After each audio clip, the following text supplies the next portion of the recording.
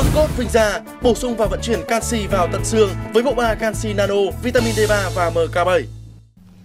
Chào đón quý vị thính giả đến với chương trình gặp thầy thuốc nổi tiếng của kênh phát thanh chuyên biệt về sức khỏe Japan. Vâng thưa quý vị thính giả ngày hôm nay thì cũng như đã giới thiệu chúng tôi sẽ cùng với các bạn thính giả chúng ta tìm hiểu về chủ đề à, đó là giải pháp phòng và điều trị đau nhức xương khớp.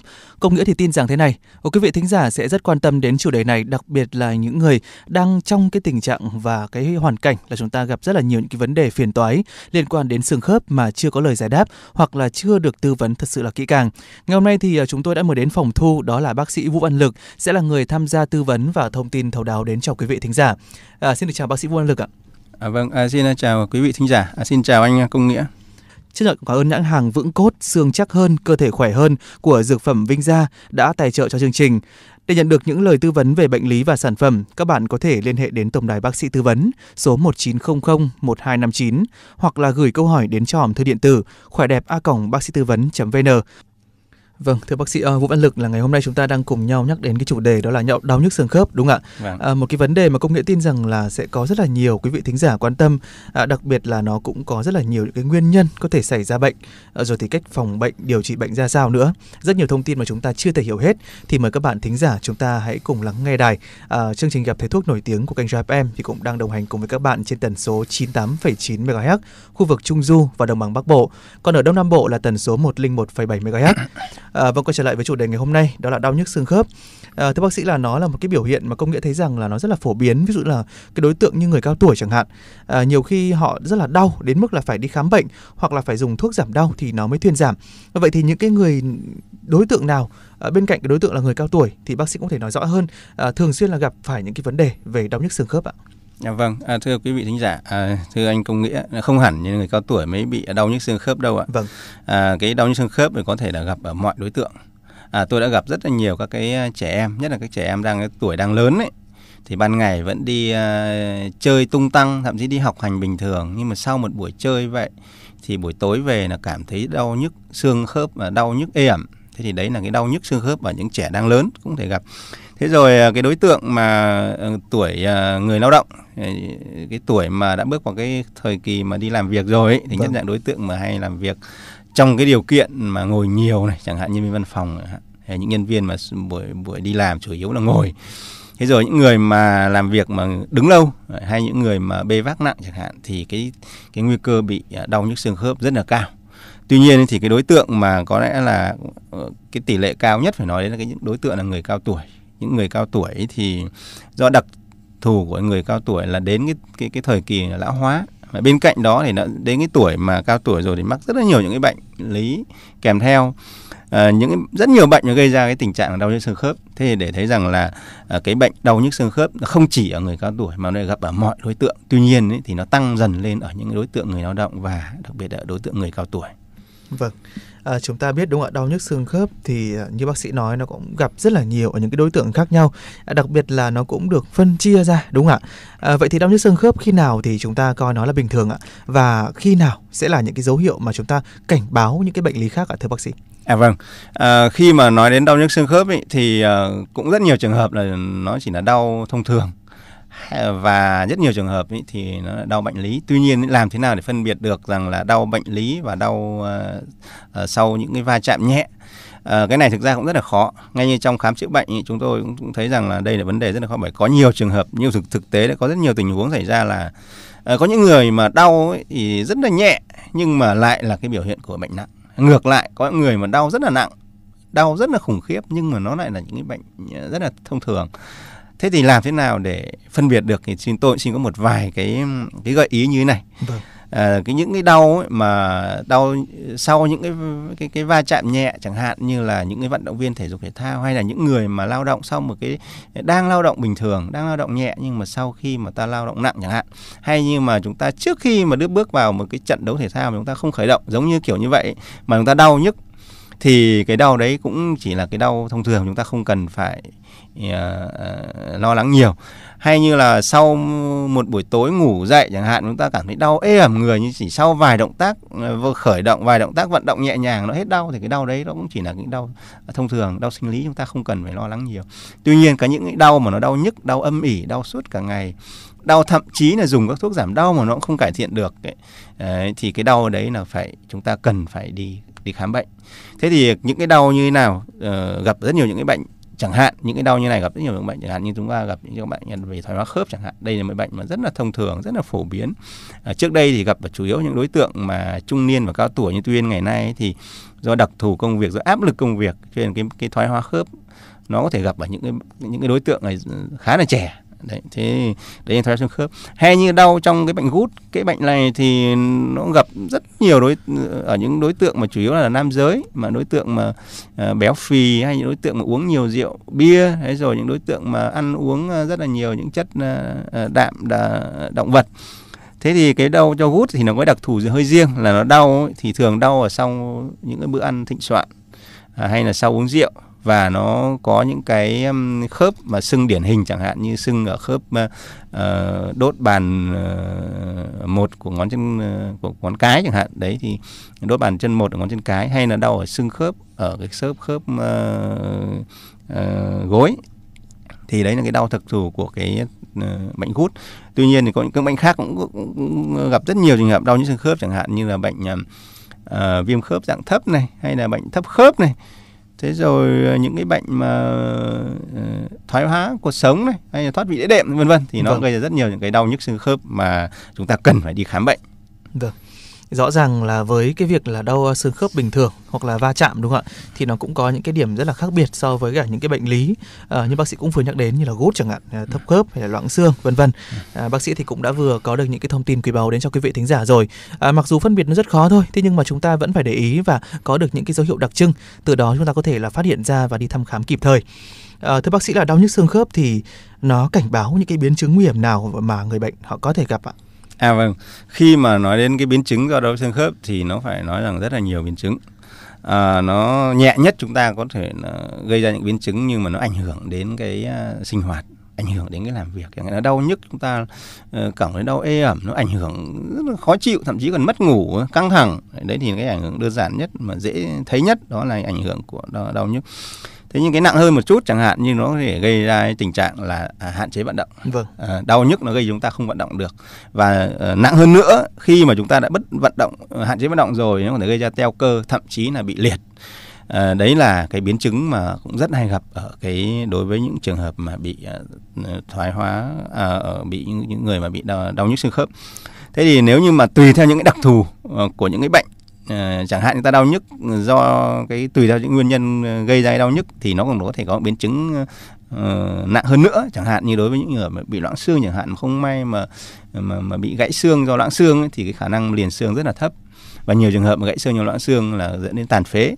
Hay như đau nhức uh, do các bệnh uh, thấp khớp chẳng hạn ấy, thì nó gây ra rất nhiều những biến chứng. Chẳng hạn như biến chứng mà uh, hay nói đến nhất đó là biến chứng mà nó có thể là gây ra những cái viêm uh, uh, viêm màng uh, màng tim và gây ra bệnh những cảnh gọi là bệnh thấp tim. Và lâu ngày gọi là gây suy tim. Thế thì đấy là một số biến chứng uh, nặng của cái đau nhức xương khớp. Tuy nhiên thì cái cái thông thường nhất cái mà hay gặp nhất ấy, đó là tính là cái tình trạng mà đau nhức nó ảnh hưởng đến công việc ảnh hưởng đến sinh hoạt. Thì cái đau nhức này có lẽ rằng là ai bị đau nhức xương khớp cũng cảm thấy uh, cũng cũng cảm thấy những cái uh, nhức nhối những cái bất tiện những, những cái phiền toái mà cái đau nhức xương khớp nó gây ra. Vâng. À, vậy thì chúng ta đã biết được rằng là những cái biến chứng đúng không ạ? Hoặc là ừ. những cái dấu hiệu nào mà của đau nhức xương khớp nó khác với những cái bệnh lý? À, vậy thì chúng ta để điều trị đau nhức xương khớp trong cái bệnh lý thì phương pháp điều trị của bác sĩ à, là gì ạ thưa bác sĩ? Và cái việc vấn đề như là thuốc giảm đau hay là kháng viêm thì nó có thể gây nên những cái tác dụng phụ nào không khi mà quá trình sử dụng quá trình điều trị bệnh thì người bệnh họ sử dụng ạ thưa bác sĩ? À vâng. À, khi mà nói đến điều trị cái đau nhức uh, xương khớp nói chung ấy thì là vấn đề mà cũng khá là là nan giải. Bởi vì là cái bệnh này nó rất thứ nhất là rất thường gặp và thứ hai điều trị nó rất là à, dai dẳng. Thế thì cái phương pháp chung ấy, cái nguyên tắc chung để điều trị thì tôi cũng xin trình bày cái nguyên tắc chung để điều trị cái đau nhức uh, xương khớp nói chung là thứ nhất chúng ta phải đầu điều trị theo nguyên nhân có nghĩa là cái gì? Có nghĩa là ta tìm thấy nguyên nhân ừ, gây ra đau xương khớp. Là nguyên nhân gì thì ta phải điều trị nguyên nhân đấy. Do loãng xương người ta điều trị loãng xương do thoái hóa khớp ta điều trị thoái hóa khớp. À, do các bệnh uh, uh, gút hay là do các bệnh về thấp khớp rồi viêm khớp dạng thấp chúng ta phải điều trị những cái bệnh nguyên những cái căn nguyên đấy. Thì khi điều trị được căn nguyên đấy thì cái triệu chứng mà đau nhức nó cũng sẽ thuyên giảm. Thế cái à, điều trị thứ hai đó là cái điều trị à, theo nguyên nhân à điều trị uh, triệu chứng. Từ bên cạnh cái điều trị nguyên nhân rồi thì chúng ta tiến hành điều trị triệu chứng. Có nghĩa là ta đau người ta tiến tiến hành điều trị uh, đau. Rồi uh, một cái điều trị nữa cũng không thể không nhắc đến đó là chúng ta uh, có những cái biện pháp gọi là um, điều trị hỗ trợ tức là vật lý trị liệu rồi điều trị hỗ trợ để làm giảm cái để để làm duy trì được cái kết quả điều trị khi mà giảm đau. Thế thì ở đây trong một trong những cái thuốc mà được sử dụng rất là rộng rãi rất rất nhiều uh, trong cái điều trị giảm đau đó là cái thuốc giảm đau chống viêm không steroid. Vâng. Cái thuốc mà rất thông dụng mà có lẽ rằng là bất kỳ ai khi bị đau nhức cũng biết đến cái xương cái cái cái cái thuốc này thì đó là cái thuốc mà được đánh được gọi là thuốc đầu bảng khi bác sĩ kê trường hợp trong trường hợp mà đau nhức xương khớp tuy nhiên ấy, thì cái thuốc này thì à, nó có một cái tác dụng phụ mà cho đến nay ấy, cũng rất là cần phải lưu ý bởi vì đó là cái tác dụng phụ mà nó khá là nguy hiểm mà nó gây ra tác dụng phụ đó là cái cái biến chứng viêm loét dạ dày uh, tái tràng. Vâng. trong cái bệnh cái cái cái thuốc giảm đau chống viêm không steroid nó có thể gây ra tình trạng viêm dạ dày. Tái tràng mà bản thân tôi cũng gặp rất là nhiều trường hợp uh, sau khi uống cái thuốc này phải đi cấp cứu vì sốt huyết dạ dày rồi. Đấy, đấy đấy đấy cho nên chúng ta khi sử dụng thuốc này chúng ta phải hết sức lưu ý là chúng ta phải sử dụng theo chỉ định của bác sĩ là một. Cái thứ hai nữa là phải sử dụng uh, chỉ khi nào đau ta mới sử dụng và khi nào hết đau rồi ta không sử dụng nữa để tránh cái biến chứng có thể xảy ra. Và một cái nữa mà rất nhiều người mắc phải, rất nhiều sai lầm, thậm chí kể cả bác sĩ cũng mắc sai lầm, đó là chúng ta không sử dụng hai thuốc chống viêm không steroid cùng một lúc. Bởi vì sao? Bởi vì là nó không tăng được tác dụng giảm đau, nhưng nó có thể làm tăng nguy cơ gây tác dụng phụ và cái này thì ờ, tôi thấy rằng nhiều người đã thấy ờ, nghĩ rằng là chúng ta dùng hai loại kết hợp với nhau thì nó có thể làm tăng cái tác dụng giảm đau, nhưng mà hoàn toàn cái quan niệm đấy là sai lầm. Mà chúng ta chỉ dùng một loại thuốc giảm đau chống viêm không steroid trong một thời điểm thôi. Và lưu ý nữa là khi sử dụng cái thuốc này thì lại phải có thuốc để bảo vệ niêm mạc dạ dày để tránh cái biến chứng nguy hiểm là xuất huyết dạ dày mà tôi đã gặp rất nhiều trong thực tế.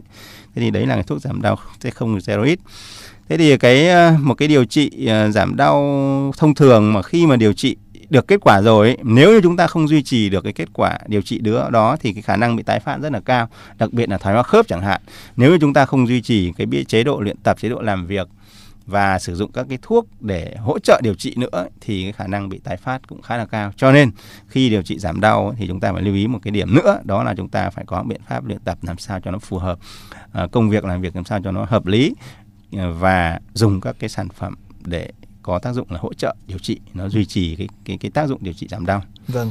À, thưa bác sĩ ờ, Vũ Ân Lực là vậy thì chúng ta à, hiện tại thì có những cái dưỡng chất như thế nào à, giúp chúng ta sử dụng sớm này rồi có thể sử dụng lâu dài mà cái hiệu quả của nó là ngăn ngừa và điều trị được các cái bệnh lý về xương khớp. À, hiện nay thì có những cái dưỡng chất nào thưa bác sĩ? À vâng. Ờ, như tôi đã nói ở phần trên ấy, thì là để điều trị cái giảm đau ấy, thì chúng ta phải có những cái nguyên tắc cơ bản là tức là điều trị theo nguyên nhân. Vâng. Cái thứ hai là điều trị triệu chứng và một cái nữa đó là điều trị hỗ trợ. Thế thì các cái điều trị hỗ trợ này thì nó song song với lại điều trị nguyên nhân rồi song song với điều trị triệu chứng nữa thế thì các cái dưỡng chất mà để hay là những cái thành phần mà giúp cho uh, hỗ trợ cái điều trị chẳng hạn như chúng ta có thể sử dụng các sản phẩm đối với trường hợp mà thoái hóa khớp chẳng hạn thì, thì ờ, rất là thành phần rất quen thuộc đó là chondroitin thành phần mà được uh, uh, chiết xuất từ cái sụn vây cá mập ấy, thì nó tác dụng là làm tăng cái uh, tái tạo các sụn ở đầu xương và làm tăng tiết hoạt dịch cho khớp. Thì đây là thành phần mà cũng có tác dụng rất là tốt để điều trị cái cái cái tình trạng là thoái hóa khớp và giúp cho bôi trơn sụn khớp thế rồi thành phần mà ờ, ginkgo biloba cái này thì trong một số trường hợp mà uh,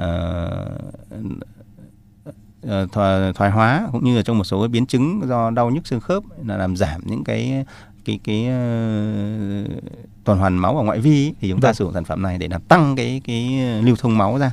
Thế rồi thành phần uh, blueberry là cái sản phẩm mà được đánh giá là nó có tác dụng là chống lão hóa uh, chống oxy hóa rất là tốt mà dùng trong một số những cái bệnh lý ở người cao tuổi chẳng hạn thì dùng cái sản phẩm này thì nó làm chống lão hóa. Thế rồi bên cạnh đó thì cũng không thể không nói đến đó là các cái vitamin nhóm B. Nó có tác dụng là làm uh, bảo vệ tế bào thần kinh tác dụng giảm đau thần kinh rồi tăng tái tạo tế bào thần kinh thì đấy là những sản phẩm những dưỡng chất mà chúng ta có thể hoàn toàn dùng ờ, khi mà bị ờ, đau nhức xương khớp và sản phẩm này có một cái ưu điểm là chúng ta có thể nó không gây tác dụng phụ là gây ra viêm loét dạ dày như tôi đã nói trong cái sản phẩm trong cái cái đối với cái thuốc ờ, giảm đau chống viêm không tuyến có thể gây ra viêm loét dạ dày nhưng cái các sản phẩm này thì không gây ra cái viêm cái biến chứng là viêm viêm, lết loét dạ dày và chúng ta hoàn toàn có thể sử dụng là thường xuyên và kéo dài. Vâng. Công nghĩa thì vừa để thấy uh, bác sĩ Vũ Văn Lực thì cũng nói đến một số những dưỡng chất như là ginkgo biloba đúng không ạ? Hay là ừ. carboberry hay là vitamin nhóm B chẳng hạn. Nó giúp là bồi dưỡng sụn khớp đĩa đệm như bác sĩ nói. Đồng thời là nó cũng có thể giảm được cái biến chứng thần kinh ờ, rồi thì mạch máu do các cái bệnh lý về xương khớp. Ờ, vậy thì bác sĩ cũng có thể là giải thích rõ hơn, cụ thể hơn về cái cơ chế tác dụng của những cái dưỡng chất này và chúng ta thì ờ, cũng có thể tìm trên thị trường những cái sản phẩm tiêu biểu nào để có thể có được những dưỡng chất này hỗ trợ điều trị bệnh được tốt hơn không ạ? À vâng. À, như tôi đã nói thì cái choroitin thì đây là một thành phần là được chiết xuất từ sụn vây cá mập và nó có tác dụng là làm à, tăng cái ờ, tái tạo các cái sụn ở đầu xương. Thế rồi là tăng cái hoạt dịch cho khớp và tác dụng rất là tốt trong trường hợp mà bị thoái hóa khớp. Khi mà đối với trường hợp thoái hóa khớp ấy, thì thường nó có tổn thương các cái sụn ở đầu xương thế rồi làm à, giảm tiết hoạt dịch cho khớp và dẫn đến tình trạng là khô khớp thì gây ra đau nhức.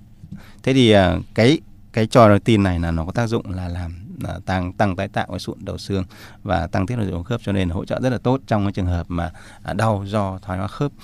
Thế rồi cao uh, blueberry ở đây là một cái thành phần mà được đánh giá là, là rất là tốt để uh, trung hòa các cái gốc tự do. À, chúng ta đã biết rằng cái gốc tự do thì có thể uh, ngày nay y học đã chứng minh được rằng nó thể gây ra rất là nhiều các bệnh và gần hàng trăm cái nhóm bệnh có thể gây ra do các cái gốc tự do và đặc biệt là các cái bệnh mà liên quan đến cái ờ, lão hóa của các cái tế bào thần kinh. Thế thì cái ờ, dinh cái cao ờ, blueberry này thì nó có vai trò rất là lớn trong việc là trung hòa các gốc tự do và vì vậy nó có thể là dự phòng được rất là nhiều cái bệnh liên quan đến cái quá trình lão hóa. À, thế còn cái um, uh, biloba là thành phần mà giúp tăng tuần hoàn não, tăng lưu thông máu và uh, rất là tốt trong cái trường hợp mà bị cái bệnh đau nhức mà nó lại liên quan đến cái uh, giảm cung cấp máu cho các cái vị trí uh, xa có thể chẳng hạn như đầu ngón tay, đầu ngón chân ấy. Thế thì uh, cái cái cái uh, ginkgo biloba này thì nó giúp tăng uh, lưu thông máu, tăng cung cấp máu cho các cái vị trí xa như vậy và rất là tốt trong một số trường hợp mà đau nhức ở những cái vị trí đầu ngón tay, đầu ngón chân. Hay những cái đối với vitamin nhóm B thì nó có tác dụng là bảo vệ các tế bào thần kinh thế rồi làm giảm đau các cái uh, thần kinh do nguyên nhân do chèn ép dễ thần kinh do chèn ép các cái dây thần kinh mà hay rất hay gặp ở những người mà bị thoái hóa xương khớp. Thế thì đấy là những cái cái cái cơ chế những cái tác dụng của một số thành phần uh, mà tôi muốn giới thiệu đến uh, các quý vị thính giả. Vâng. Và cái thế còn cái sản phẩm này, các thành phần này thì chúng ta à, như anh anh anh công nghĩa có nói đến là chúng ta có thể tìm thấy ở đâu thì cái này là có trong cái sản phẩm là Vindacmen Plus các, các, quý vị thính giả có thể um, tham khảo. Vâng. À, thưa bác sĩ là việc cái cái việc kết hợp giữa những cái dưỡng chất như là bác sĩ cũng vừa nói đúng không ạ? À, với những cái uh, chất khác như là canxi chẳng hạn, ừ, Ừ, công nghệ có thể nhắc đến là vitamin D3 nữa và một cái chất đó là chất MK7. Vậy thì không biết là cái chất MK7 thì là những cái chất như thế nào và tại sao thì chúng ta nên bổ sung đồng thời cả canxi, cả MK7, cả vitamin D3 trong cái việc là chúng ta có thể là phòng và điều trị loãng xương. Và đặc biệt là công nghệ cũng muốn đặt lại một cái câu hỏi với bác sĩ, đó là những cái dưỡng chất này đặc biệt là MK7 thì chúng ta cũng có thể tìm thấy ở đâu ạ thưa bác sĩ? À vâng, uhm, khi mà những cái trường hợp mà đau nhức xương khớp như tôi đã nói thì nó gặp khá nhiều ở đối tượng là người trung niên và cao tuổi. À, vì thế mà đến cái tuổi này rồi thì nguy cơ là bị giảm mật độ xương rất là cao, nhất là phụ nữ sau tuổi mãn kinh. Thế thì uh, song song với việc điều trị cái chứng thoái hóa khớp đấy chúng ta thường hay bổ sung thêm uh, canxi để làm gì để làm giảm cái cái cái uh, cái, cái, cái mất mất xương giảm tình trạng mất xương và làm tăng cái mật độ xương lên. Thế thì à, cái bổ sung canxi, vitamin D và MK7 đây là bộ ba mà tôi xin nói thêm là, là canxi thì có tác dụng là là một cái nguyên liệu để tổng hợp lên khung xương của cơ thể và chúng ta không thể thiếu được kể cả từ lúc mới sinh ra thậm chí từ trong bào thai chúng ta đã phải cung cấp canxi đầy đủ cho cơ thể rồi. À, nó là một cái nguyên liệu rất là quan trọng để tạo nên khung xương nhưng canxi không thì chưa đủ mà chúng ta cần phải cung cấp vitamin D bởi vì nếu như không có canxi không có vitamin D thì thì ta rất là khó để hấp thu canxi. Còn vitamin D thì có tác dụng là tăng hấp thu canxi ở ống tiêu hóa và tăng tái hấp thu canxi ở ống thận và ừ, kết quả là sẽ làm tăng ờ, hấp thu canxi vào máu. Thế còn cái vitamin ờ, ờ, uh, K2 hay còn gọi là MK7 đây là một thành phần mà vô cùng quan trọng là nó có tác dụng là vận chuyển canxi từ máu vào xương tức là nếu như chúng ta chỉ hấp thu canxi vào máu không thì chưa đủ bởi vì là canxi nó có thể lắng động ở bất kỳ cái vị trí nào đặc biệt là các mạch máu ở mô mềm à, gây ra cái chứng gọi là chứng sơ vữa mạch rất là nguy hiểm nếu như chúng ta sử dụng canxi một cách bừa bãi. Hay như lắng động canxi ở, ở mô mềm chẳng hạn lắng động ở thận có thể gây ra tình trạng sỏi thận. Thế thì cái MK7 này, này nó có tác dụng là vận chuyển canxi từ máu vào xương. Và vì vậy nó vừa có tác dụng kép nó có tác dụng kép là vừa có tác dụng là làm xương chắc khỏe tức là nó uh, giúp tăng tái tạo xương, tăng phát triển xương và đồng thời nó hạn chế được cái nguy cơ gây ra cái các cái biến chứng do canxi gây ra. Thế thì đấy là những cái tác dụng của canxi, uh, vitamin D và MK7. Thì ba cái cái uh, cái dưỡng chất quan trọng này, các ba dưỡng chất là rất là, là có giá trị này thì chúng ta có thể tìm thấy sản phẩm vững cốt à, các quý vị thính giả có thể tham khảo. Vâng. Uh, hai sản phẩm như bác sĩ cũng vừa chia sẻ đúng không ạ? Thì không biết là cụ thể cái cách dùng của nó như thế nào để quý vị thính giả bạn nghe đài được rõ hơn và cái vấn đề mà công nghệ tin rằng là vị thính giả nào cũng băn khoăn đó là cái việc là chúng ta dùng lâu dài những cái sản phẩm như vậy thì nó có gây những cái tác dụng phụ nào không? Hoặc là trong quá trình phòng và điều trị căn nguyên gây ra nhức xương khớp thì chúng ta nên áp dụng thêm những cái biện pháp hỗ trợ nào khác nữa mà ừ, kết hợp cùng với thuốc cũng như sản phẩm để cho người bệnh họ uh, rút ngắn được cái khoảng thời gian điều trị cũng như là hiệu quả hơn không ạ thưa bác sĩ? À, vâng, à, về về sử dụng hai cái sản phẩm như tôi nói đến đó là cái ờ, ờ, uh, Vindacmen Plus và cái sản phẩm uh, vững cốt uh, thì hai sản phẩm này thì uh, tôi xin nói rằng là nó uh, thứ nhất là cái Vin Men Plus thì có tác dụng là rất là tốt trong trường hợp mà giảm đau uh, xương khớp nhất là giảm đau trong trường hợp mà bị thoái hóa. Có tác dụng tốt trong trường hợp giảm đau cho thoái hóa khớp. Và chúng ta dùng uh, liều dùng hai viên một ngày chúng ta hoàn toàn có thể dùng kéo dài dùng thường xuyên được bởi vì sản phẩm này nó không gây ra cái biến chứng là tác dụng phụ đặc biệt là tác dụng phụ không gây ra biến chứng là gây ra uh, uh, viêm loét dạ dày tá tràng thế còn sản phẩm vững cốt cũng vậy chúng ta có thể dùng ờ, để hỗ trợ trong trường hợp mà điều trị cái chứng ờ, ờ, loãng xương và làm chứng giảm mật độ xương. À, dùng rất là tốt đối với những người mà sau tuổi từ tuổi trung niên và cao tuổi và đặc biệt là những người mà phụ nữ sau tuổi mãn kinh tuổi tiền mãn kinh và mãn kinh thì chúng ta có thể dùng cái vững cốt này giúp mà tăng uh, phát triển xương, tăng tái tạo xương và giúp cho dự phòng và hỗ trợ điều trị cái chứng loãng xương. Thế thì cái sản phẩm vững cốt này chúng ta cũng có thể hoàn dồn sử dụng kéo dài. Chúng ta không cần uh, không nó không gây ra biến chứng là tác dụng phụ là gây viêm loét dạ dày tá tràng. À, thế thì song song với cái cái điều trị uh, bằng hỗ trợ bằng cái thuốc này thì tôi cũng có một vài lời khuyên như là để giúp cho cái quá trình điều trị cái chứng đau nhức đạt kết quả và duy trì kết quả không bị tái phát vâng. là chúng ta cần tức là như dựa nói là chúng ta trước hết trước tiên nếu chúng ta tìm được cái nguyên nhân gây bệnh chúng ta điều trị nguyên nhân gây bệnh đã. Khi mà điều trị xong nguyên nhân gây bệnh rồi thì tất nhiên là các cái triệu chứng uh, nó cũng uh, thuyên giảm. Cái thứ hai là chúng ta phải có những biện pháp vật lý trị liệu phục hồi chức năng uh, để làm sao cho cái cái cái nguyên nhân dẫn đến cái tình trạng mà đau nhức nó sẽ được uh, khống chế. Tức là chúng ta không không có những cái tắc uh, người ta gọi là không có những yếu tố nguy cơ gây ra đau nhức. Chẳng hạn đối với những người mà có đặc thù làm việc ngồi nhiều chẳng hạn thì chúng ta phải có những thời gian luyện tập vận động để làm sao cho uh, giãn uh, cơ giãn gân cốt và không gây ra tình trạng đau nhức. À, thế rồi đối với những người thoái hóa khớp thì chúng ta cái việc luyện tập cũng hết sức lưu ý là bởi vì là nếu như chúng ta không luyện tập thì có thể gây ra là cứng khớp. Nhưng nếu chúng ta vận động không đúng thì chúng ta lại gây ra là đau đau tăng lên. Bởi vì cái đau uh, cơ chế đau trong cái thoái hóa khớp là đau do uh, do cơ học. Tức là anh càng vận động thì nó càng đau nhiều. Nhưng nếu anh không vận động thì nó gây ra cứng khớp. Thì ta vận động như thế nào để cho nó phù hợp? Là chúng ta vận động nhưng mà chúng ta không chịu lực nhiều lên cái khớp mà chúng ta bị thoái hóa. Chẳng hạn đối với người thoái hóa khớp gối chẳng hạn chúng ta phải hạn chế đi lại nhiều nhưng ta nhưng ta phải ngồi chỗ để ta vận động hay là ta nằm giường ta vận động. Thế rồi nếu mà các uh, quý vị thính giả mà có điều kiện ấy, thì chúng ta có thể đến những trung tâm phục hồi chức năng.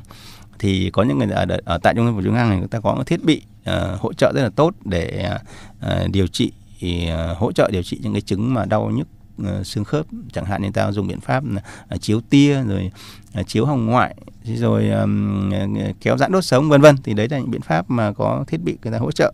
Thế còn đối với những uh, thính giả mà không có điều kiện chúng ta hoàn toàn có thể thực hiện các cái bài tập đơn giản chẳng hạn như đi bộ chạy bộ hoặc là đi lại nhẹ nhàng rồi bơi lội vân vân những động tác thể thao nó cũng tác dụng rất là tốt trong ờ, trong cái cái cái điều trị ờ, trong hỗ trợ điều trị cái chứng đau nhức xương khớp và nó cũng tác dụng tốt để giúp tăng cái tái tạo xương và hỗ trợ tốt trong trường hợp mà điều trị cái chứng uh, uh, loãng xương và giảm mật độ xương. Vâng. Xin được cảm ơn bác sĩ ờ, Vũ Văn Lực với những thông tin hết sức là quý báu vừa rồi về uh, vấn đề là đau xương khớp. Đặc biệt là các bạn thính giả nếu muốn đặt câu hỏi trực tiếp đến cho bác sĩ Vũ Văn Lực với chủ đề ngày hôm nay hoặc là những cái bệnh căn bệnh về uh, xương khớp nói chung thì các bạn hoàn toàn có thể nhấc máy lên và gọi về cho tổng đài số 1900 6255 hoặc là các bạn cũng có thể đặt câu hỏi đến cho hòm thư điện tử biên tập a989.vn. Bác sĩ ngày hôm nay là bác sĩ Vũ Văn Lực cũng đã sẵn sàng để có thể là chia sẻ cũng như là tư vấn thấu đáo đến cho các bạn thính giả rồi.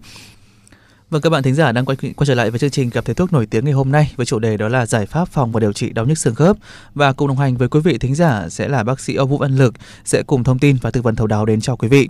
Phần đầu thì chúng ta cũng đã nói rất là nhiều đến xương khớp rồi, việc đau nhức nguyên nhân ra sao và có những cái phương pháp điều trị như thế nào. Thế nhưng mà công nghệ tin rằng là khi mà chúng ta đi vào từng những cái trường hợp cụ thể từ phía các bạn thính giả thì bác sĩ sẽ có được cái lời khuyên nó sát sao và thấu đáo hơn.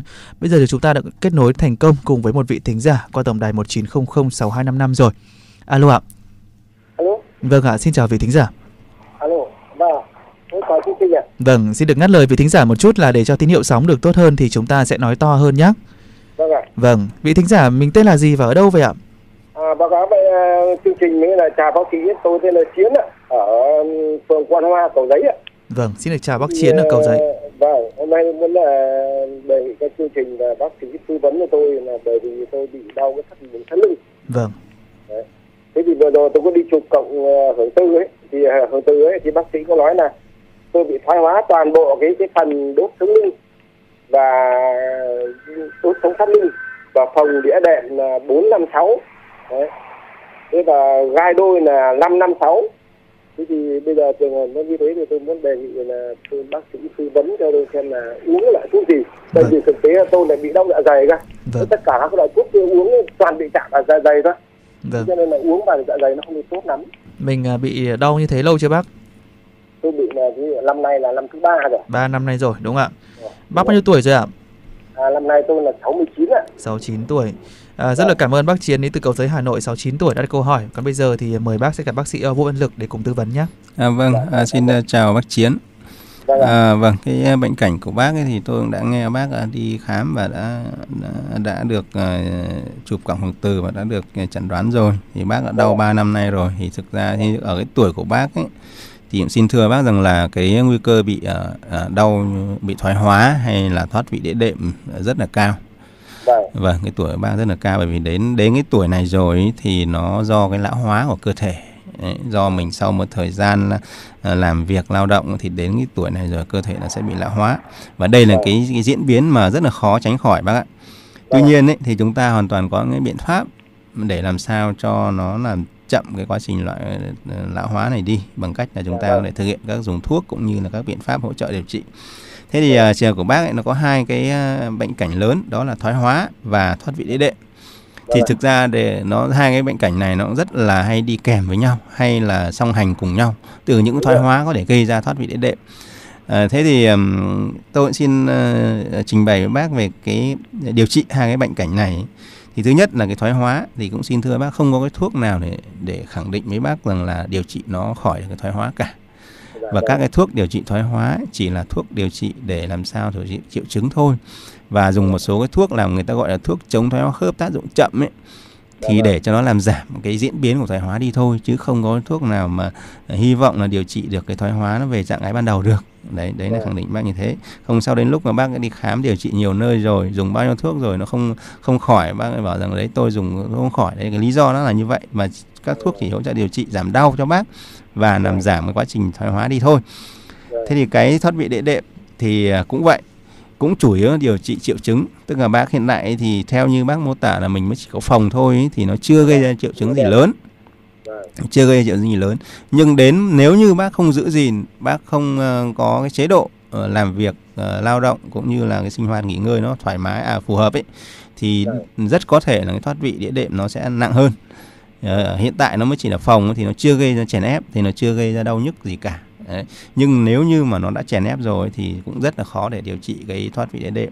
Mà các phương điều trị nó cũng chỉ điều trị giảm đau thôi.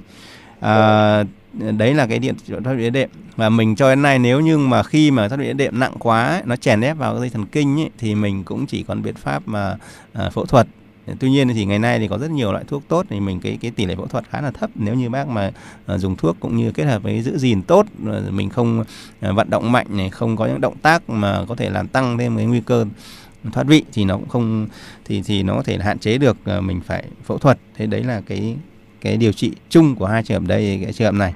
Thế còn để vào Vâng. trường hợp cụ thể của bác ấy, thì theo tôi ấy, thì tốt nhất là bác đã đi khám ờ, bác sĩ rồi thì bác có thể sử dụng theo chỉ định của bác sĩ.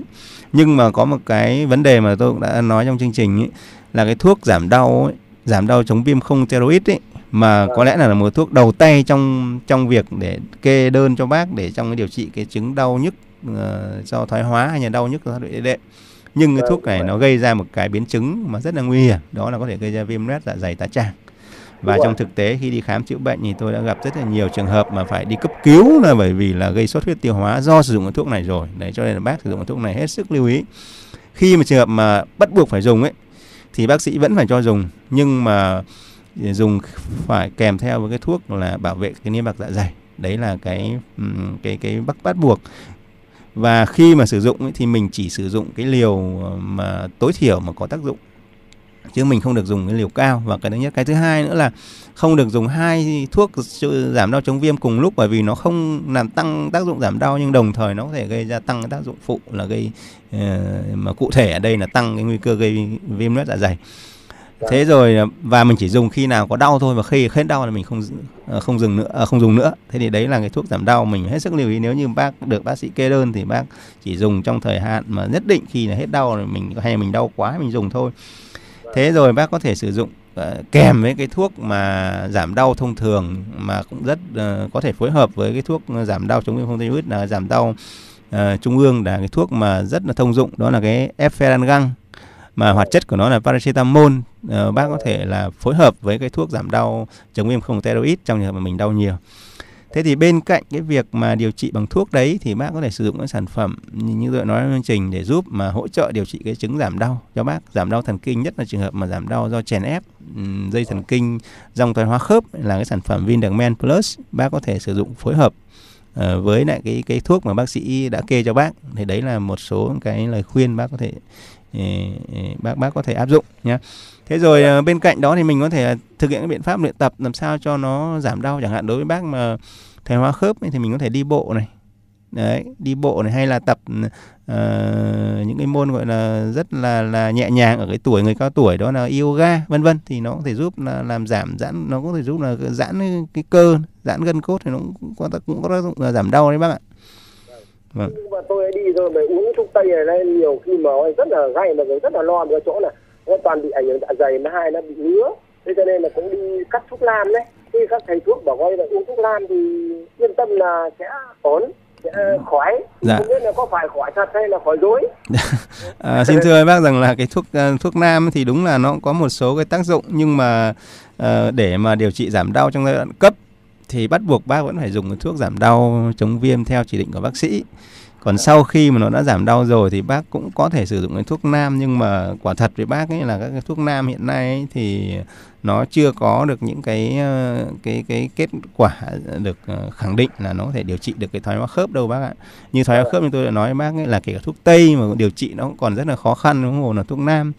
Cho nên là mình cũng ờ, có thể là uống nhưng mà ờ, ờ, cái này nó phải thứ nhất là bác phải tìm được những cái thuốc mà nó rõ nguồn gốc chứ ờ, rất là nhiều trường hợp mà uống thuốc nam truyền được không ạ À được ạ, đấy. Thế thì đấy những cái thuốc mà nó có rõ rõ nguồn gốc rõ ràng chứ hiện tại tôi cũng đã biết rất là nhiều người mà uống cái thuốc nam ở những cái thầy lang mà không rõ nguồn gốc là gây ra những cái ngộ độc, ngộ độc thuốc nam rồi đấy bác ạ. Cho nên là mình phải hết sức lưu ý khi dùng thuốc nam bác nhé. Đấy thì bác ngoài dùng ờ, các cái thuốc mà do bác sĩ chỉ định nó có thể gây biến chứng như thế thì mình có thể hạn chế nhưng ờ, bên cạnh mình dùng các thuốc hỗ trợ điều trị thì nó sẽ phần nào là giúp được cải thiện được cho bác nhé. Vâng. À, xin được cảm ơn vị thính giả đã tin tưởng và kết nối cùng với chương trình và cảm ơn phần tư vấn vừa rồi từ phía bác sĩ Vũ Ân Lực. Chúng ta sẽ cùng chuyển qua một cuộc điện thoại khác đã kết nối thành công với chương trình. Alo ạ. Alo, Vâng, xin chào vị thính giả đã kết nối ạ. dạ vâng ạ. Chào ờ, chương trình, chào bác sĩ ạ. Vâng, vị thính giả thân mến, mình có thể giới thiệu là mình tên là gì và ở đâu không ạ? À, mình tên là Thu ở dưới Nam Định ạ. Vâng, chị Thu bao nhiêu tuổi rồi ạ? À, năm nay mình 44 tuổi này. À, chị 44 tuổi. Chị Thu thân mến là không biết là hôm nay kết nối cùng với cả chương trình gặp thầy thuốc nổi tiếng thì chị muốn đặt câu hỏi nào đấy ạ? À, vâng, mình có hai uh, câu hỏi muốn uh, gặp bác sĩ. Chào bác sĩ ạ. Vâng, xin chào chị À, Thu. bác sĩ ơi cho vâng cho cháu hỏi là à, cháu có một câu hỏi của cháu và một câu hỏi cho mẹ cháu ạ. Vâng, Thì cháu muốn hỏi bác sĩ là cháu bị thà, thoát vị đĩa đệm và thái hóa đốt sống cả cổ và lưng ấy. vâng, Thì cháu cũng bị lâu rồi và cháu đã điều trị rất nhiều nơi rồi. Nhưng mà đợt à, trước cháu đi lên viện à, đau quá xong cháu đi lên viện y học cổ truyền dân tộc à, quân đội ạ. Thì họ lại phát hiện ra trong cột sống của cháu nó lại có hai cái nang ta lốt ở ngang mức S2 ấy bác. Vâng, thì một cái ở trong ống sống và một cái ở cạnh ống sống thì bác sĩ bảo là không phẫu thuật được. Nhưng mà vâng, cho cháu hỏi bác sĩ là bây giờ một là cháu điều trị như thế nào? Hai là cái đấy là mình có nên đi kiểu xét nghiệm cái tế bào của cái nang hay không ấy ạ vâng. mà cháu đang dùng cái sụn cá mập với họ lại bảo là uống cả cao hổ nữa thì ờ, cái đấy của cháu thì bác sĩ nên tư vấn cho cháu điều trị như thế nào ạ Vâng, vâng. Vâng.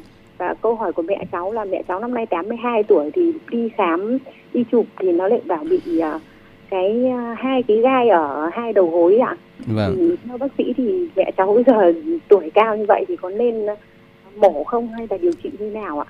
Cháu cảm ơn Vâng. bác sĩ ạ. Vâng, xin chào chị Thu. Thì quả thật là cái bệnh cảnh của chị cũng là một trong những cái bệnh cảnh mà khá là nan giải đối với những cũng rất là khó đối với những bác sĩ như chúng tôi. Thế thì Dạ à, vâng. thứ nhất ý, là cái thoát vị đĩa đệm thì xin thưa với chị rằng tôi đã nói rất là nhiều lần trong cái chương trình kể cả chương trình này cũng như những chương trình trước nữa ấy, thì à, thoát vị đĩa đệm ấy là do cái đĩa đệm nó nằm giữa các cái đốt sống nó bị thoát ra ngoài nó gây chèn ép vào các cái tổ chức xung quanh và gây ra những cái biến tùy theo vị trí nó thoát cũng như là tùy theo cái mức độ ờ, thoát vị đĩa đệm mà nó gây ra những bệnh cảnh khác nhau đau nhức người thậm chí là tê bì thậm chí là liệt nhé thế thì cái thoát vị này ấy, thì về cơ bản là không có thuốc nào điều trị nó khối thoát vị ờ, để, để về vị trí ban đầu được. Đấy, mình phải hiểu như thế cho nên là chỉ điều trị giảm đau thôi. Và nếu như trường hợp mà nó đau quá nó gây ra cái biến chứng đặc biệt là biến chứng liệt chẳng hạn thì chỉ có biện pháp cuối cùng là phẫu thuật thôi. Thế thì đấy là thoát vị đệm. Thì trường hợp của chị thì tôi chưa thấy nói những cái biến chứng nặng. Tuy nhiên chị nói đến cái cái cái cái, cái nang cái nang ở trong ống sống thì xin thưa chị cho ăn nay thì không có thuốc nào điều trị được nó cả nhé thế còn phần lớn những cái nang này nó là lành tính cho nên chị theo tôi thì chị cũng không nhất thiết là phải đi ờ, làm xét nghiệm cái tế bào. Đấy là cái lời khuyên của tôi. Còn nếu chị cảm thấy lo lắng ấy, thì chị cũng nên đi đi đi ờ, xét nghiệm tế bào. Nhưng mà đấy là theo tôi thì cái các cái này phần lớn là nó chỉ lành tính thôi. Nhưng mà à, thực ra nó cũng không gây ra những cái biến chứng gì nguy hiểm đâu nhé thế còn là chị hiện tại chị đang dùng cái sụn vây cá mập thì nó cũng rất là tốt đối với trường hợp mà thoái hóa khớp chiều chị đã nói rằng thoái hóa cả cột sống ờ, cột sống cổ cả cột sống thắt lưng ấy, thì mình có thể dùng các cái loại mà chondroitin và nếu mà chị có dùng thêm những sản phẩm ờ, mà khác nữa để giúp chống thoái hóa khớp tác dụng chậm như là à, cái glucosamine nữa nhé bên cạnh đó nếu chị đau nhiều ấy, thì chị có thể sử dụng cái sản phẩm như tôi có nói trong chương trình đó là cái Vindacmen Plus. Đấy là cái sản phẩm mà nó cũng, cũng có tác dụng là điều trị à, hỗ trợ điều trị giảm đau cho chị. Thì nó tác dụng là bảo vệ tế bào thần kinh và Ờ, giảm đau do ừ, bị chèn ép ừ, dây thần kinh. Thế còn ừ, còn trường hợp mà của mẹ chị hiện tại ấy, thì nói là gai khớp uh, gai cái cái xương ở khớp gối thì cái này thì rất tỷ lệ bị rất là cao ở người cao tuổi. Và đây là nguyên nhân của nó là do thoái hóa khớp gối. Những người cao tuổi mắc rất là nhiều. Thế thì chị có nói rằng là để điều trị cái gai này ấy, thì cũng có một biện pháp đó là người ta phẫu thuật để bào để để ừ, bào mòn làm làm tác dụng là để cắt bào mòn cái gai này đi thì nó sẽ giảm đau. Tuy nhiên đối với người mà trên 80 tuổi thì tôi khuyên rằng là chúng ta không nên động đến ờ, phẫu thuật làm gì cả.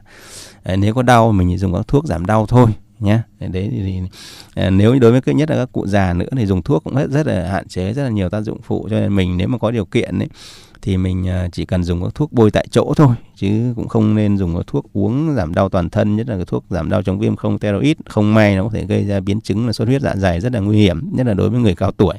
Thì mình chỉ dùng khi mà thật sự cần thiết. Và cái thứ hai nữa là chỉ dùng khi đau thế rồi nếu mà có điều kiện ấy, thì chị nên đưa mẹ đi khám để được bác sĩ kiểm tra cụ thể và chỉ định một cách phù hợp.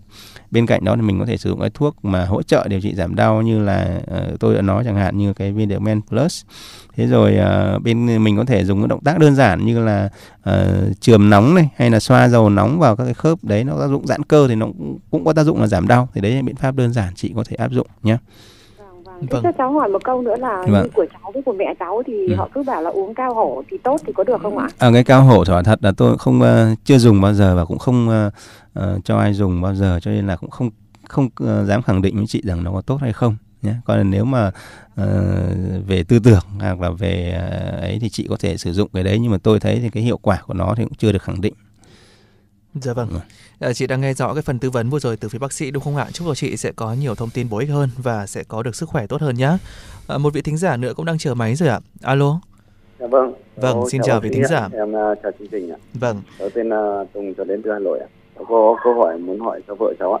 vâng, Vợ xin cháu đi uh, khám tuyến huyện thì uh, chẩn đoán là viêm gân dạng uh, dài ngón uh, cái. Thì cho cháu hỏi là bác sĩ thì kê cho là cái ờ, thuốc uh, metri b salon này. Nhưng mà vợ cháu thì lại đừng cho con bú mà vợ cháu là 34 tuổi thì cháu lại chưa có điều kiện đi khám tuyến cao hơn nhưng mà uh, bác sĩ bảo tiêm một mũi duy nhất như thế nhưng mà cháu cũng chưa dám tiêm thì theo bác là uh, cháu ngại cái là cho con bú thì bác tư vấn cho cháu là có phương pháp chữa bằng đông y hoặc là phương pháp thuốc khác thuốc khác không hoặc loại thuốc ý có ảnh hưởng gì không ạ? À vâng. bác Ờ, giúp cháu ạ Vâng, à, xin chào anh, xin chào anh Tùng. Anh cũng rất là lo lắng cho cái tình trạng của vợ như vậy. Thì tôi, thế cái tôi xin tư vấn cho anh như này. Cái viêm gân dạng dài ngón cái thì nó cũng gặp khá nhiều, gặp tôi cũng gặp khá nhiều trường hợp vậy. Thế thì cái gân dạng ngón cái này thì nhất là những người dùng cái động tác mà à, do động tác các cái tay vận động tay nhiều đấy, rồi những người cầm nắm những cái động tác cầm nắm nhiều thì nó gây ra viêm gân cái dạng dài ngón cái. Thế thì cái viêm gân này thì tôi xin thưa anh rằng là thứ nhất là nó không uh, uh, mấy nguy hiểm nó chỉ hơi gọi là khó chịu một chút thôi chứ nó không phải là nguy hiểm đến mức độ chúng ta phải điều trị ngay là cái thứ nhất. Cái thứ hai là cái thuốc mà anh có nói đến ấy, thì tôi đoán nó là cái thành phần của nó là cái thuốc uh, corticoid glucocorticoid là cái thuốc giảm đau tại chỗ dùng rất là tốt được tiêm trực tiếp vào những cái gân bị bị đau bị viêm thì có tác dụng rất là tốt trong trường hợp mà bị viêm các cái gân dạng dài như trường hợp của vợ anh ấy. tuy nhiên những cái thuốc này bản thân nó là cái thuốc mà uh, tôi khuyên là không nên dùng trong trường hợp mà đang cho con bú Đấy. và chưa không cho con bú là có mấy cái lý do. Tại thứ thứ nhất là nó có thể ảnh hưởng đến sữa mẹ. Cái thứ hai nữa là cái cái trường tình trạng của vợ anh chưa đến mức độ chưa đến mức độ là mình phải ờ, điều trị ngay lập tức. Cho nên là mình có thể điều trị bằng cái biện pháp khác. Nó nó đơn giản hơn và nó ít ảnh hưởng đến cái uh, sữa mẹ như là ít ảnh hưởng đến cái quá trình cho con bú. Thế thì còn sau này khi mà cai sữa cho con rồi thì anh nếu như vẫn còn viêm gân nữa thì mình có thể tiêm tại chỗ. Bởi vì cái tiêm này có tác dụng rất là tốt và nó có thể tác dụng kéo dài thế còn ở thời điểm hiện tại ấy, thì anh hoàn toàn có thể cho vợ sử dụng các cái biện pháp tôi khuyên anh đơn giản là mình dùng các thuốc bôi tại chỗ này giúp cái thuốc ờ, giảm đau nhưng mà có tác dụng là giảm bôi tại chỗ thôi để nó ít ảnh hưởng đến cái cái tác dụng phụ là là là đau dạ dày mà đồng thời nó cũng vẫn dùng được trong thời kỳ đó con bú. Thế thì đấy là cái lời khuyên của tôi. Và bên cạnh cái dùng cái thuốc đấy thì anh có thể là cho vợ ờ, mình có thể dùng cái động tác đơn giản như là ờ, uh, chườm nóng nhé chườm nóng tại chỗ này rồi ờ, sông hơi những cái trường mình có dùng cái dầu nóng thì nó giúp tác dụng là giãn cơ ra thì nó cũng có tác dụng là giảm đau. Nhá thì giờ thời thời, thời kỳ cho ăn bú này mình hết sức ừ, lưu ý khi dùng thuốc mà chỉ dùng khi hết sức cần thiết. Còn trường hợp mà nếu cảm thấy không cần thiết thì mình không nên sử dụng. Thì đấy là lời khuyên của tôi. Còn anh mà bảo đi điều trị đông y thì tôi khuyên rằng là đấy đông y trong trường hợp giảm đau đau cấp này thì cái cái thuốc đông y nó cũng không mấy có có tác dụng giảm đau mà nó chỉ có tác dụng là hỗ trợ thôi đến khi nào mà mình đã điều trị nó giảm đau hết rồi thì mình dùng các thuốc đông y để cải thiện cái triệu chứng và nó làm duy trì tác dụng thôi chứ nó không không có tác dụng chính trong cái trường hợp giảm đau cấp trong ở thời điểm này nhé. Vâng. Xin cảm ơn bác sĩ với những tư vấn dành cho vị thính giả này và chúc anh sẽ có nhiều sức khỏe nhé. À, chúng tôi thì vẫn còn đủ thời lượng để có thể tư vấn tiếp cho những vị thính giả đang đợi máy rồi ạ. Alo. Alo. Vâng ạ, xin chào vị thính giả.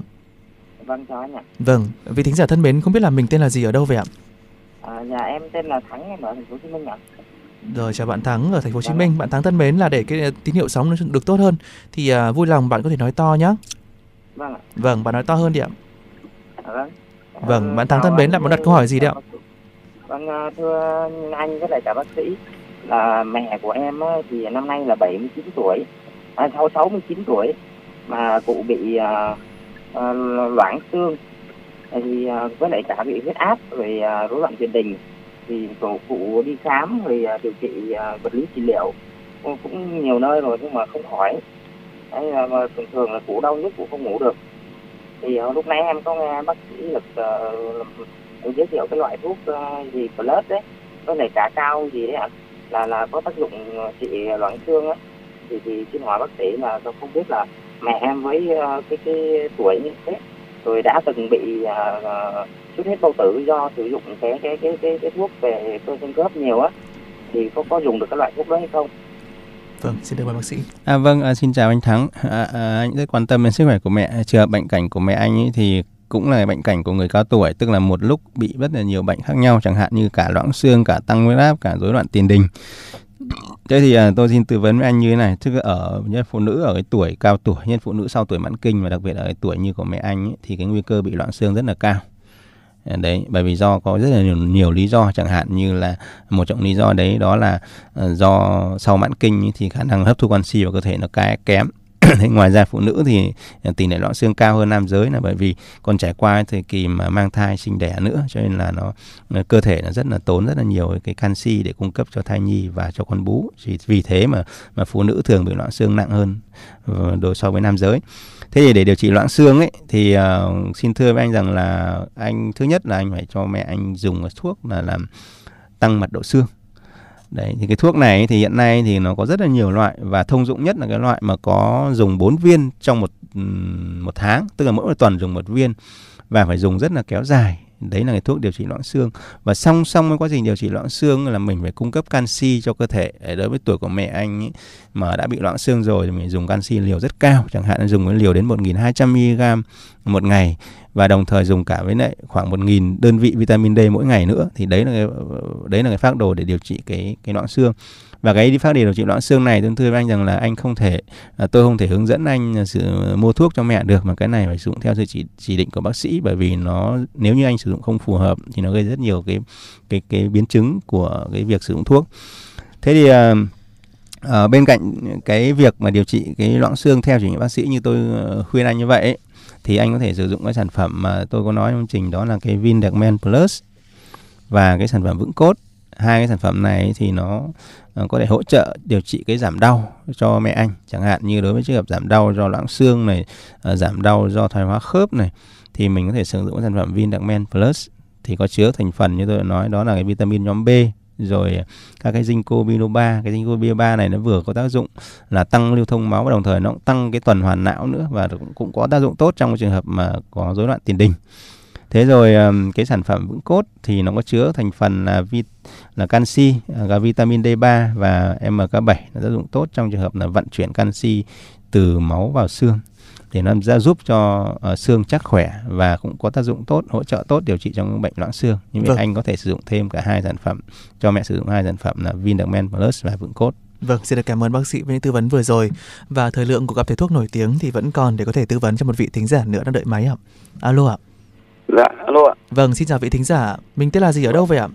Dạ, vâng, uh, xin uh, chào uh, chương trình, chào bác sĩ. Em tên là Hà, em ở Phú Thọ ạ. Vâng, xin chào bác Hà Phú Thọ đúng không ạ? Bác Hà thân mến là bác muốn đặt câu hỏi gì đến chương trình đấy ạ? Dạ, vâng, xin hỏi bác sĩ Vũ Văn Lực là em hỏi em có cháu năm nay cháu đang học lớp 12, tức là năm nay cháu 18 tuổi. Cháu bị 3 năm nay là cháu bị bên chân trái ở mu chân là cháu nó đau mà em đi rất nhiều các bệnh viện rồi nhưng mà vừa nãy em nghe chương trình thấy bác ờ, sĩ tư vấn là nguyên nhân phải tìm ra bệnh mà em đi tất cả các bệnh viện rồi mà dùng rất nhiều thuốc nhưng cháu không không không chuyển biến được một tí nào Đấy. em đang muốn hỏi chương trình là muốn uh, hỏi uh, biết là bác sĩ Vũ Văn Lực là bác sĩ làm ở bệnh viện nào để em có thể trực tiếp xuống để bác khám bác tư vấn cho cháu được không ạ?